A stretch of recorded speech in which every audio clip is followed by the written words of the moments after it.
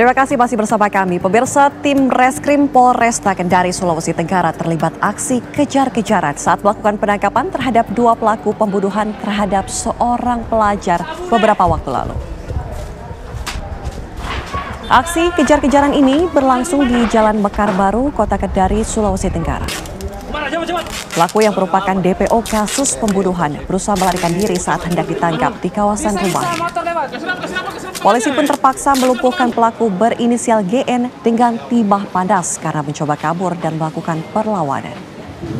Selain GN, polisi juga meringkus pelaku lainnya berinisial IL. Sebelumnya, seorang pelajar ditemukan tewas bersimbah darah di Jalan Sau-Sau, Kota Kendari pada awal November lalu. Diduga korban dipalak para pelaku sebelum dianiaya hingga tewas.